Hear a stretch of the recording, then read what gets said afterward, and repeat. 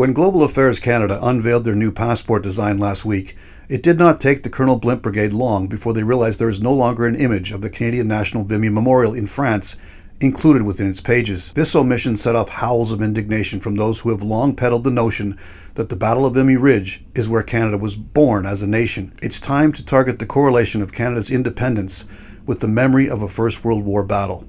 In response to the new passport design, the Royal Canadian Legion tabled a letter of protest, as did the Vimy Foundation, which, as the name suggests, owes its very existence to the importance bestowed upon this First World War battle. To give them credit, the Vimy Foundation have been hugely successful in promoting the Vimy Ridge myth over the past two decades. For legions of young Canadian students, annual class pilgrimages to the Vimy Ridge Memorial have immortalized that monument into something of a Canadian Mecca. That said, I have never understood the logic behind isolating the Battle of Vimy Ridge as the moment in which Canada emerged as a truly independent country. The Vimy proponents argue that this was the first time all four Canadian divisions had fought together as a single army corps, and that they successfully captured a ridge which both the British and the French armies had previously tried and failed to accomplish.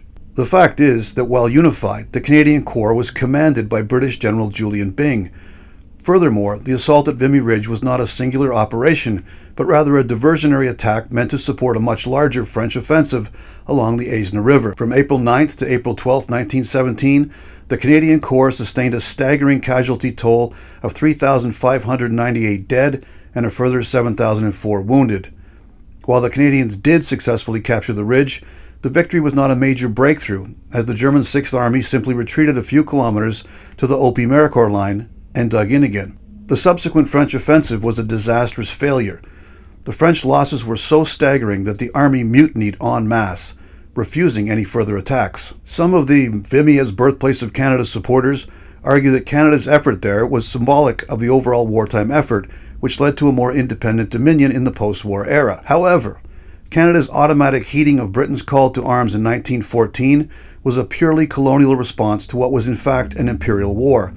That we sacrifice so much to prop up and support British imperial objectives hardly signifies Canada's independence. For my money, Canada first cut the umbilical cord to Mother Britain during the Chanak crisis of September 1922. For those unfamiliar with this little known chapter of our history, this began with a resurgent Turkish national army emerging out of the ashes of the recently conquered Ottoman Empire. Under the generalship of Kemal Ataturk, the Turkish army was steadily forcing the Greek army out of Anatolia. The British, were keen to enter the fray on the side of the Greeks. However, as the British people were war weary after the First World War, UK Prime Minister David Lloyd George put the call out to the Commonwealth dominions to commit troops to this venture. Canadian Prime Minister William Lyon Mackenzie King did not immediately conform to the British request, and instead insisted that any decision on going to war would be made by Parliament. In a telegram to then Colonial Secretary Winston Churchill, King advised the British that unlike 1914, Canada's response was no longer to be considered automatic. This resistance from King was soon echoed by all the other Dominion leaders within the Commonwealth. As a result, Britain had no choice but to conclude a separate peace agreement with Kemal Ataturk, which awarded all of eastern Thrace to Turkey. The Greeks were forced to abandon the territory without a fight. However, more importantly, King's expression of independent action had a lasting impact on Canada's future status. Historians credit Canada's response to the Chanak incident as the genesis for British Foreign Secretary Arthur Balfour's subsequent revision of the status of the dominions within the empire. According to Balfour, from this point forward, the dominions were to be, quote, autonomous communities within the British Empire, equal in status and in no way subordinate one to another in any aspect of domestic or internal affairs, though united by a common allegiance to the Crown and freely associated as members of the British Commonwealth of Nations. End quote.